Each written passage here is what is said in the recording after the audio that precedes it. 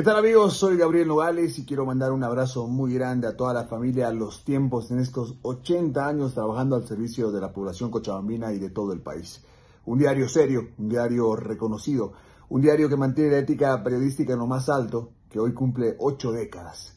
Un fuerte abrazo y a seguir adelante.